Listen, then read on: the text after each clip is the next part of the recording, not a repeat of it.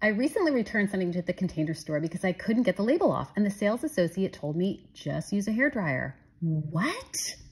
Oh my gosh, life changing.